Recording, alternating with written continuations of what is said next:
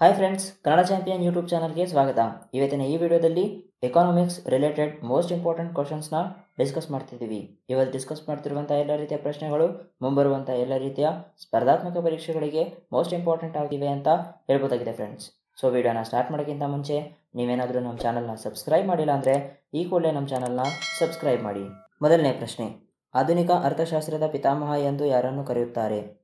Robinson Ricardo Adam Smith Malthus. Right answer is option C Adam Smith Adam Smith ರವರನ್ನು ಆಧುನಿಕ ಅರ್ಥಶಾಸ್ತ್ರದ ಪಿತಾಮಹ ಎಂದು ಕರೆಯುತ್ತಾರೆ. ಆಡಮ್ ಸ್ಮಿತ್ ಅವರನ್ನು ಆಧುನಿಕ ಅರ್ಥಶಾಸ್ತ್ರದ ಪಿತಾಮಹ ಅಷ್ಟೇ ಅಲ್ಲದೆ ಇವರನ್ನು ದ ಫಾದರ್ ಆಫ್ ಎಕನಾಮಿಕ್ಸ್ ಅಥವಾ ದ ಫಾದರ್ ಆಫ್ ಕ್ಯಾಪಿಟಲಿಸಮ್ ಅಂತಲೂ ಕೂಡ ಇವರನ್ನು ಕರೀತಾರೆ.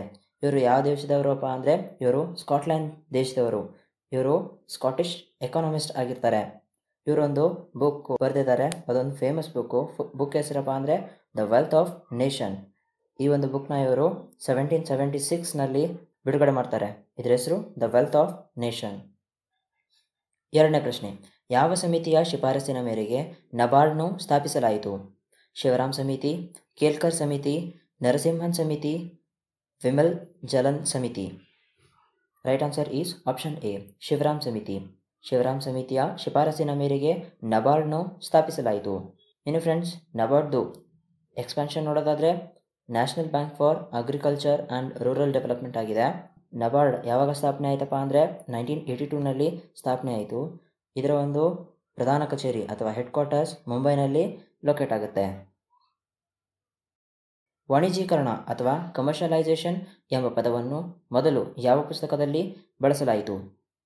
A time of political economy, the prince, message on East India time, the wealth of nation. Right answer is option D the wealth of nation ಈ ಒಂದು ಪುಸ್ತಕ the wealth of nation ಅನ್ನೋಂಥ ಪುಸ್ತಕವನ್ನು Adam Smith ರವರು seventeen seventy ಸಿಕ್ಸ್ರಲ್ಲಿ ಬರೆದು ಪ್ರಕಟಿಸಿದರು. ನಾಲ್ಕನೇ ಪ್ರಶ್ನೆ ಈ ಕೆಳಗಿನವುಗಳಲ್ಲಿ ಯಾರನ್ನು ಆರ್ಥಿಕ ರಾಷ್ಟ್ರೀಯತೆಯ ಪ್ರವರ್ತಕ ಎಂದು ಪರಿಗಣಿಸಲ್ಪಟ್ಟಿದೆ? Madan Mohan Malaviya, Gopal Krishna Gokhale, R C Dutt, Bipin Chandrapal. Right answer is option C, R C Dutt. R C Dutt ರವರನ್ನು ಆರ್ಥಿಕ ರಾಷ್ಟ್ರೀಯತೆಯ ಪ್ರವರ್ತಕ ಎಂದು ಪರಿಗಣಿಸಲ್ಪಟ್ಟಿದೆ. ಇವರು ಒಂದು ಫೇಮಸ್ ಬುಕ್ ಒಂದು ಬರೆದಿದ್ದಾರೆ. ಆ ಹೆಸ್, ಆ ಬುಕ್ದು ಹೆಸರಪ್ಪ ಅಂದರೆ the economic history of India ಅನ್ನೋಂಥ ಬುಕ್ಕನ್ನು ಬರೆದಿದ್ದಾರೆ. ಐದನೇ ಪ್ರಶ್ನೆ, ರೇಷ್ಮೆ ಹುಳುಗಳನ್ನು ಬೆಳೆಸುವ ಸಂಪ್ರದಾಯವನ್ನು ಯಾವ ನಾಗರಿಕತೆಯು ಹುಟ್ಟುಹಾಕಿತು? China, Greece, Rome, Mesopotamia. Right answer is option A, China. ರೇಷ್ಮೆ ಹುಳುಗಳನ್ನು ಬೆಳೆಸುವಂಥ ಸಂಪ್ರದಾಯವನ್ನು ಚೀನಾ ನಾಗರಿಕತೆಯು ಹುಟ್ಟುಹಾಕಿತು. ನೆಕ್ಸ್ಟ್ ಫ್ರೆಂಡ್ಸ್ ಈ ಒಂದು ರೇಷ್ಮೆ ಹುಳುಗಳನ್ನು ಬೆಳೆಸುವ ಒಂದು ವ್ಯವಸಾಯಕ್ಕೆ ಸೆರಿಕಲ್ಚರ್ ಅಥವಾ ರೇಷ್ಮೆ ಹುಳು ಸಾಕಾಣಿಕೆ ಅಂತಲೂ ಕರೀತಾರೆ. ಈ ಒಂದು ಸಾಕಾಣಿಕೆಯಲ್ಲಿ ಅಥವಾ ರೇಷ್ಮೆ ಒಂದು ಉತ್ಪಾದನೆಯಲ್ಲಿ ಭಾರತ ಎರಡನೇ ಸ್ಥಾನದಲ್ಲಿದೆ. ಮೊದಲನೇ ಸ್ಥಾನದಲ್ಲಿ ಚೈನಾ ಇದೆ. ಭಾರತದಲ್ಲಿ ಒಟ್ಟು ಉತ್ಪಾದನೆಯಾಗುವಂಥ ರೇಷ್ಮೆ ಬಟ್ಟೆಯ ಅರ್ಧದಷ್ಟು, ಅಂದರೆ ಫಿಫ್ಟಿ ಪರ್ಸೆಂಟ್ದಷ್ಟು ಕರ್ನಾಟಕದಲ್ಲಿ ಉತ್ಪಾದನೆ ಆಗ್ತದೆ. ಸೊ ಫ್ರೆಂಡ್ಸ್ ನೀವೇನಾದರೂ ಕಾಂಪಿಟೇಟಿವ್ ಎಕ್ಸಾಮ್ಸ್ಗೆ ಪ್ರಿಪೇರ್ ಆಗ್ತಾ ಇದ್ದರೆ Karnataka's largest exam preparation app that is Kannada Champion ಆ್ಯಪ್ನ ನೀವು ಪ್ಲೇಸ್ಟೋರ್ದಿಂದ ಡೌನ್ಲೋಡ್ ಮಾಡ್ಕೋಬೋದಾಗಿದೆ ಫ್ರೆಂಡ್ಸ್ ಈ ಆ್ಯಪ್ನೊಳಗಡೆ daily quiz mock test videos ebook free P D Fs job ಅಲರ್ಟ್ಸ್ನ ನೀವು ಆಕ್ಸೆಸ್ ಮಾಡ್ಬೋದಾಗಿದೆ. ನಾವೀಗಾಗಲೇ ಆನ್ಲೈನ್ ಮಾಕ್ ಟೆಸ್ಟ್ನ ಲಾಂಚ್ ಮಾಡಿದ್ದೀವಿ ಆ್ಯಪ್ದು ಲಿಂಕ್ನ ನಾವು ಡಿಸ್ಕ್ರಿಪ್ಷನಲ್ಲಿ ಕೊಟ್ಟಿರ್ತೀವಿ. ಅಲ್ಲಿಂದ ನೀವು ಆ್ಯಪ್ನ ಡೌನ್ಲೋಡ್ ಮಾಡ್ಕೋಬೋದಾಗಿದೆ ಫ್ರೆಂಡ್ಸ್ ಎಂ ಇ ಪಿಯ ಪೂರ್ಣರೂಪ modified export provisions maximum export permission minimum export price maximum export price right answer is option C minimum export price M E ಪಿಯ ಪೂರ್ಣರೂಪ ಮಿನಿಮಮ್ ಎಕ್ಸ್ಪೋರ್ಟ್ ಪ್ರೈಸ್ ಆಗಿದೆ. ಏಳನೇ ಪ್ರಶ್ನೆ ಭಾರತದಲ್ಲಿ ಅತಿ ಹೆಚ್ಚು ರಬ್ಬರ್ ಉತ್ಪಾದಿಸುವಂಥ ರಾಜ್ಯ ಯಾವುದು? ಕರ್ನಾಟಕ, ಕೇರಳ, ತಮಿಳುನಾಡು, ಪಶ್ಚಿಮ Bengal. Right answer is option B, Kerala. ಭಾರತದಲ್ಲಿ ಅತಿ ಹೆಚ್ಚು ರಬ್ಬರ್ ಉತ್ಪಾದಿಸುವಂತಹ ರಾಜ್ಯ ಕೇರಳವಾಗಿದೆ. ಎಂಟನೇ ಪ್ರಶ್ನೆ ಮಿಕ್ಸ್ಡ್ ಎಕಾನಮಿ ಎಂದರೇನು? ಸರ್ಕಾರ ಮತ್ತು ಕೃಷಿ ಕ್ಷೇತ್ರದ ಮಿಶ್ರಣ, ಸರ್ಕಾರ ಮತ್ತು ಖಾಸಗಿ ಕ್ಷೇತ್ರದ ಮಿಶ್ರಣ, ಖಾಸಗಿ ಮತ್ತು ಕೃಷಿ ಕ್ಷೇತ್ರದ ಮಿಶ್ರಣ, ಬಡವರು ಮತ್ತು ಶ್ರೀಮಂತರ ಒಗ್ಗಟ್ಟು. Right answer is option B ಸರ್ಕಾರ ಮತ್ತು ಖಾಸಗಿ ಕ್ಷೇತ್ರದ ಮಿಶ್ರಣ. ಮಿಕ್ಸ್ಡ್ ಎಕಾನಮಿ ಅಂದರೆ ಫ್ರೆಂಡ್ಸ್ ಸರ್ಕಾರ ಮತ್ತು ಖಾಸಗಿ ಕ್ಷೇತ್ರದ ಮಿಶ್ರಣ ಇರ್ತದೆ. ಇಲ್ಲಿ ಸರ್ಕಾರ ಮತ್ತು ಖಾಸಗಿ ಕ್ಷೇತ್ರಗಳು ಸಮನಾದಂತಹ ಮಾಲೀಕತ್ವವನ್ನು ಹಾಗೂ ನಿಯಂತ್ರಣವನ್ನು ಅರ್ಥಶಾಸ್ತ್ರ ಅಥವಾ ಎಕಾನಮಿ ಮೇಲೆ ಹೊಂದಿರ್ತದೆ. ಒಂಬತ್ತನೇ ಪ್ರಶ್ನೆ. ಜಿ ತ್ರೀ ಆರ್ಥಿಕತೆ ಎಂದು ಯಾವುದನ್ನು ಕರೆಯುತ್ತಾರೆ? Bharat, China, Russia, Bharat, America, France, Bharat, America, China, America, European Union, Japan. Right answer is option D America European Union ಹಾಗೂ ಜಪಾನ್. ಈ ಮೂರು ದೇಶದ ಆರ್ಥಿಕತೆಯನ್ನು ಜಿ ತ್ರೀ ಅಥವಾ ಗ್ರೇಟ್ ಎಕಾನಮಿ ಎಂದು ಕರೆಯುತ್ತಾರೆ.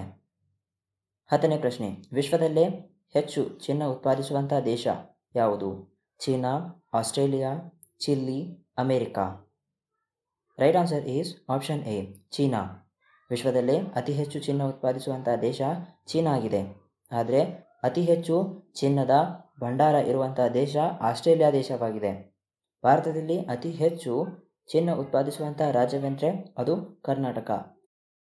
ಹನ್ನೊಂದನೇ ಪ್ರಶ್ನೆ, ಭಾರತಕ್ಕೆ ಯೋಜಿತ ಆರ್ಥಿಕತೆ ಅಥವಾ ಪ್ಲಾಂಟ್ ಎಕಾನಮಿ ಫಾರ್ ಇಂಡಿಯಾ ಎಂಬ ಪುಸ್ತಕವನ್ನು ಬರೆದವರು ಯಾರು? Dadabhai Naoroji, sir M Visvesvaraya, Manmohan Singh, sir Nilakanth Rath. Right answer is option B, sir M Visvesvaraya. Sir M ವಿಶ್ವೇಶ್ವರಯ್ಯರವರು ಭಾರತಕ್ಕೆ ಯೋಜಿತ ಆರ್ಥಿಕತೆ ಅಥವಾ ಪ್ಲ್ಯಾಂಡ್ ಎಕಾನಮಿ ಫಾರ್ ಇಂಡಿಯಾ ಎಂಬ ಪುಸ್ತಕವನ್ನು ಬರೆದಿದ್ದಾರೆ. ಸರ್ ಎಂ ವಿಶ್ವೇಶ್ವರಯ್ಯರವರು ಹುಟ್ಟಿರೋದು ಫಿಫ್ಟೀನ್ತ್ ಸೆಪ್ಟೆಂಬರ್ ಈ ಒಂದು ದಿನದಂದು ಪ್ರತಿ ವರ್ಷ ಇಂಜಿನಿಯರ್ಸ್ ಡೇನ ನಾವು ಸೆಲೆಬ್ರೇಟ್ ಮಾಡ್ತೀವಿ. ಭಾರತದ ಪಂಚವಾರ್ಷಿಕ ಯೋಜನೆಯನ್ನು ಯಾವ ದೇಶದಿಂದ ಅಳವಡಿಸಿಕೊಂಡಿದೆ? China, Russia, America, England. Right answer is option B, Russia. ಭಾರತದ ಪಂಚವಾರ್ಷಿಕ ಯೋಜನೆಯನ್ನು ರಷ್ಯಾ ದೇಶದಿಂದ ಅಳವಡಿಸಿಕೊಳ್ಳಲಾಗಿತ್ತು ಹಾಗೂ ಇದನ್ನು ಭಾರತದಲ್ಲಿ ಹತ್ತೊಂಬತ್ತು ನೂರ ಐವತ್ತೊಂದು ಐವತ್ತೆರಡರಲ್ಲಿ ಇಂಪ್ಲಿಮೆಂಟ್ ಮಾಡಲಾಗಿತ್ತು. ಹದಿಮೂರನೇ ಪ್ರಶ್ನೆ, ಆರ್ಥಿಕ ಯೋಜನೆಗಳು ಈ ಕೆಳಗಿನವುಗಳಲ್ಲಿ ಯಾವ ಪಟ್ಟಿಯಲ್ಲಿ ಬರುತ್ತವೆ? ಕೇಂದ್ರ ಪಟ್ಟಿ, ರಾಜ್ಯ ಪಟ್ಟಿ, ಸಮವರ್ತಿ ಪಟ್ಟಿ, ಇವುಗಳಲ್ಲಿ ಯಾವುದೂ ಅಲ್ಲ. Right answer is option C, ಸಮವರ್ತಿ ಪಟ್ಟಿ. ಆರ್ಥಿಕ ಯೋಜನೆಗಳು ಸಮವರ್ತಿ ಪಟ್ಟಿಯಲ್ಲಿ ಬರುತ್ತವೆ. ಹದಿನಾಲ್ಕನೇ ಪ್ರಶ್ನೆ, ಆಮದು ರಫ್ತು ಬ್ಯಾಂಕ್ ಅಥವಾ ಎಕ್ಸಿಮ್ ಬ್ಯಾಂಕ್. ಯಾವಾಗ ಸ್ಥಾಪನೆಯಾಗಿದೆ? ಹತ್ತೊಂಬತ್ತು ನೂರ ಎಂಬತ್ತೊಂದರಲ್ಲಿ ಹತ್ತೊಂಬತ್ತು ನೂರ ಎಂಬತ್ತೆರಡರಲ್ಲಿ ಹತ್ತೊಂಬತ್ತು ನೂರ ಎಂಬತ್ತೈದರಲ್ಲಿ ಹತ್ತೊಂಬತ್ತು ನೂರ ಎಂಬತ್ತೊಂಬತ್ತರಲ್ಲಿ right answer is option B nineteen eighty two ಆಮದು, ರಫ್ತು, ಬ್ಯಾಂಕ್ ಅಥವಾ ಎಕ್ಸಿಮ್ ಬ್ಯಾಂಕ್ ಹತ್ತೊಂಬತ್ತು ನೂರ ಎಂಬತ್ತೆರಡರಲ್ಲಿ ಸ್ಥಾಪನೆಯಾಗಿದೆ. ಇನ್ನು ಎಕ್ಸಿಮ್ ಬ್ಯಾಂಕ್ ಅಂದರೆ ಎಕ್ಸ್ಪೋರ್ಟ್ ಇಂಪೋರ್ಟ್ ಬ್ಯಾಂಕ್ ಅಥವಾ ಆಮದು, ರಫ್ತು ಬ್ಯಾಂಕ್ ಆಗಿದೆ. ಇದರ ಒಂದು ಹೆಡ್ ಕ್ವಾರ್ಟರ್ಸ್ ಮುಂಬೈನಲ್ಲಿ ಲೊಕೇಟ್ ಆಗುತ್ತೆ. ಹದಿನೈದನೇ ಪ್ರಶ್ನೆ. ಡೈನಮಿಕ್ ಥಿಯರಿ ಆಫ್ ಪ್ರಾಫಿಟ್ ಸಿದ್ಧಾಂತವನ್ನು ಯಾರು ಪ್ರಸ್ತಾಪಿಸಿದರು? ಪಾಲ್ರಾ A Marshall Schumpeter J B Clark right answer is option D J B Clark J B ಕ್ಲಾರ್ಕ್ನವರು dynamic theory of profit ಎಂಬ ಸಿದ್ಧಾಂತವನ್ನು ಹತ್ತೊಂಬತ್ತು ನೂರ ಇಪ್ಪತ್ತರಲ್ಲಿ ಪ್ರಸ್ತಾಪಿಸಿದರು. Indira Gandhi institute of development research I G I D ಆರ್ಗೆ ಹಣಕಾಸಿನ ನೆರವು ನೀಡುವವರು ಯಾರು? ಹಣಕಾಸು ಸಚಿವಾಲಯ ನಗರಾಭಿವೃದ್ಧಿ ಸಚಿವಾಲಯ, ವಾಣಿಜ್ಯ ಸಚಿವಾಲಯ reserve bank of India right answer is option D reserve bank of India I G I D R ಇದರದ್ದು ಫುಲ್ ಫಾರ್ಮ್ ಅಂದರೆ Indira Gandhi institute of development and research ಆಗಿದೆ. ಇದರದ್ದು ಹೆಡ್ ಕ್ವಾರ್ಟರ್ಸ್ ಮುಂಬೈನಲ್ಲಿ ಲೊಕೇಟ್ ಆಗುತ್ತೆ. ಹದಿನೇಳನೇ ಪ್ರಶ್ನೆ, ರಾಷ್ಟ್ರೀಯ ಆದಾಯದಲ್ಲಿ ಕೃಷಿಯ ಕೊಡುಗೆ ಹೇಗಿದೆ? ಕ್ಷೀಣಿಸುತ್ತಿದೆ, ಹೆಚ್ಚುತ್ತಿದೆ, ಏರಿದ ನಂತರ ಬೀಳುತ್ತಿದೆ, ಕಡಿಮೆಯಾದ ನಂತರ ಹೆಚ್ಚುತ್ತಿದೆ. Right answer is option A ಕ್ಷೀಣಿಸುತ್ತಿದೆ. ರಾಷ್ಟ್ರೀಯ ಆದಾಯದಲ್ಲಿ ಕೃಷಿಯ ಒಂದು ಕೊಡುಗೆ ನಿಧಾನವಾಗಿ, ಸತತವಾಗಿ ಕ್ಷೀಣಿಸುತ್ತಿದೆ. ಈ ಒಂದು ರಾಷ್ಟ್ರೀಯ ಆದಾಯದಲ್ಲಿ ಸೇವಾ ಕ್ಷೇತ್ರ ಅಥವಾ ಸರ್ವಿಸ್ ಸೆಕ್ಟರ್ ಪ್ರಮುಖವಾದಂಥ ಕೊಡುಗೆ ಅಥವಾ ಕಾಂಟ್ರಿಬ್ಯೂಷನ್ನ ನೀಡ್ತಾ ಇದೆ. ಹಾಗೂ ಈ ಒಂದು ಸರ್ವಿಸ್ ಸೆಕ್ಟರ್ ನಿಧಾನವಾಗಿ, ಸತತವಾಗಿ ತನ್ನ ಒಂದು ಕೊಡುಗೆಯನ್ನು ರಾಷ್ಟ್ರೀಯ ಆದಾಯದಲ್ಲಿ ಹೆಚ್ಚಿಸುತ್ತಿದೆ. ಸಗಟು ಬೆಲೆ ಸೂಚ್ಯಂಕ ಡಬ್ಲ್ಯೂ ಪಿ ಐವನ್ನು ಯಾರು ಜಾರಿ ಮಾಡುತ್ತಾರೆ? ಕಾರ್ಮಿಕ ಬ್ಯೂರೋ, ವಾಣಿಜ್ಯ ಮತ್ತು ಕೈಗಾರಿಕಾ ಸಚಿವಾಲಯ ರಿಸರ್ವ್ ಬ್ಯಾಂಕ್ ಆಫ್ ಇಂಡಿಯಾ ಆರ್ಥಿಕ ವ್ಯವಹಾರಗಳ ಇಲಾಖೆ. Right answer is option B ವಾಣಿಜ್ಯ ಮತ್ತು ಕೈಗಾರಿಕಾ ಸಚಿವಾಲಯ. ವಾಣಿಜ್ಯ ಮತ್ತು ಕೈಗಾರಿಕಾ ಸಚಿವಾಲಯವು ಸಗಟು ಬೆಲೆ, ಸೂಚ್ಯಂಕ ಅಥವಾ ಡಬ್ಲ್ಯೂ ಪಿ ಐನು ಜಾರಿ ಮಾಡುತ್ತಾರೆ. ಇನ್ನು ಡಬ್ಲ್ಯೂ ಪಿ ಐದು ಫುಲ್ ಫಾರ್ಮ್ ನೋಡೋದಾದರೆ ಹೋಲ್ಸೇಲ್ ಪ್ರೈಸ್ ಇಂಡೆಕ್ಸ್ ಆಗಿದೆ. ಈ ಒಂದು ಹೋಲ್ಸೇಲ್ ಪ್ರೈಸ್ ಇಂಡೆಕ್ಸ್ನ ಕ್ಯಾಲ್ಕುಲೇಟ್ ಮಾಡಬೇಕಾದ್ರೆ ಬೇಸ್ ಇಯರ್ನ ಟೂ ತೌಸಂಡ್ ಆ್ಯಂಡ್ ಲೆವೆನ್ ಮತ್ತು ಟ್ವೆಲ್ ಎಂದು ಪರಿಗಣಿಸುತ್ತಾರೆ. ಡಬ್ಲ್ಯೂ ಪಿ ಐ ಅಥವಾ ಹೋಲ್ಸೇಲ್ ಪ್ರೈಸ್ ಇಂಡೆಕ್ಸ್ನ ಮಿನಿಸ್ಟ್ರಿ ಆಫ್ ಕಾಮರ್ಸ್ ಆ್ಯಂಡ್ ಇಂಡಸ್ಟ್ರಿದವರು ಪ್ರತಿ ತಿಂಗಳು ಬಿಡುಗಡೆ ಮಾಡ್ತಾರೆ. ಇಂಡಿಯನ್ ಡೈಮಂಡ್ ಇನ್ಸ್ಟಿಟ್ಯೂಟ್ ಎಲ್ಲಿದೆ? Surat, New Delhi, Mumbai, Jaipur. Right answer is option A Surat. Indian diamond institute ಸೂರತ್ನಲ್ಲಿದೆ. ಇಪ್ಪತ್ತನೇ ಪ್ರಶ್ನೆ, ಕೇರಳದ ಅತಿದೊಡ್ಡ ಉತ್ಪಾದಕ ದೇಶ ಯಾವುದು? Bharat, Brazil, China, America. Right answer is option A Bharat. ಪೇರಲದ ಅತಿದೊಡ್ಡ ಉತ್ಪಾದಕ ದೇಶ, ಭಾರತವಾಗಿದೆ. ಇಪ್ಪತ್ತೊಂದನೇ ಪ್ರಶ್ನೆ. ವಿಶ್ವದ ಮೊದಲ ಡಿಜಿಟಲ್ ಕರೆನ್ಸಿ ಯಾವುದು? Bitcoin litecoin namecoin days coin right answer is option A bitcoin ವಿಶ್ವದ ಮೊದಲ ಡಿಜಿಟಲ್ ಕರೆನ್ಸಿ ಬಿಟ್ ಕಾಯಿನ್ ಆಗಿದೆ. ವಿಶ್ವದ ಮೊದಲ ಡಿಜಿಟಲ್ ಕರೆನ್ಸಿ ಬಿಟ್ ಕಾಯಿನ್ನು ಸಾತೋಶಿ ನಾಕಾಮೋಟೋ ಎಂಬುವರು ಎರಡು ಸಾವಿರದ ಒಂಬತ್ತರಲ್ಲಿ ಸ್ಥಾಪಿಸಿದರು. ಇವರನ್ನು ಫೌಂಡರ್ ಆಫ್ ಬಿಟ್ಕಾಯಿನ್ ಎಂದಲೂ ಸಹ ಕರೆಯಲಾಗ್ತದೆ.